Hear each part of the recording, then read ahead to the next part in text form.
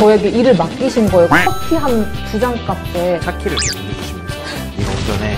대리인가요? 아, 네가 운전해. 그러고서는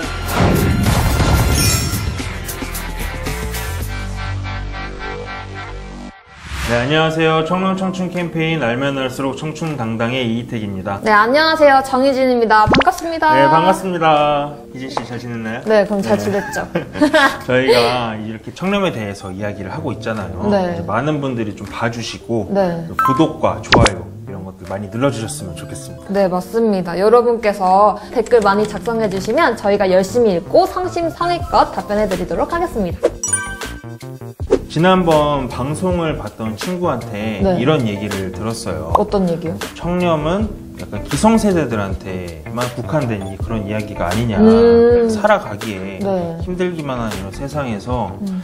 청렴이라는 거는 약간 꼰대 같은 아. 그런 말일 수도 있을 것 같아요. 이제 사회에서 어른들이 이제 좋은 모습을 많이 보여주시지 않은 거는 사실인 것 같아요. 음. 근데 그렇다고 해서 우리 청년들이 아 어른들이 그렇게 하니까 나도 그렇게 살 거야라고 하면은 우리 사회가 앞으로 좋아질 일이 없을 거라고 저는 생각이 들거든요. 그래서 우리가 더욱더 희망을 가지고 더 열심히 당당하게 목소리를 낼 수 있는 시간이 되면 좋겠습니다. 네, 맞습니다. 그런 의미에서 오늘의 주제는 무엇일지 한번 웹툰으로 만나볼까요? 네.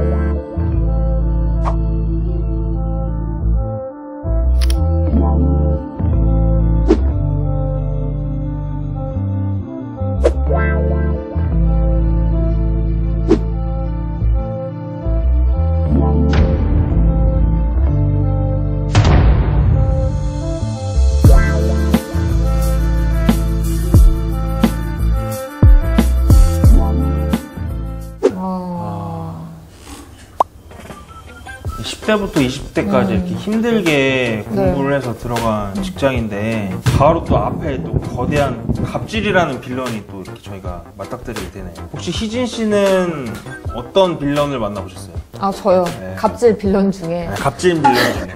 저는 빌런 중에 이런 빌런을 만난 적이 있어요. 네. 이제 디자인을 음. 이제 어떤 분께서 저에게 맡기신 거예요. 근데 아시는 분이 저에게 맡겼는데 정말 최저 시급도 안 되는 페이로 저에게 일을 맡기신 거예요. 커피 한 두 잔 값에. 근데 작업물은 몇 시간짜리 일이거든요. 그리고 제가 그 디자인이 나왔을 때 어느 정도를 받는지를 아는데 이게 아는 분이 그랬다고요? 그 아는 분이 그래서 제가 더 당황스러웠다니까. 그러니까 돈도 잃고 사람도 잃고 이렇게 되는 거예요. 아 너무 최악이다. 네. 진짜.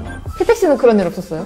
그제 직장 상사분하고 음. 같이 이제 거래처 미팅을 간 적이 있었어요. 미팅을 하고 나서 술자리를 하게 됐거든요. 네. 그 상사분이 저한테는 술을 먹지 말라고 오. 하시더라고요. 그래서 조, 좋은 아, 상사다. 네, 좋은 상사다. 괜찮다. 음. 이랬는데 자리가 끝나고 나서 네. 저한테 차키를 이렇게 던져주시면서 네가 운전해.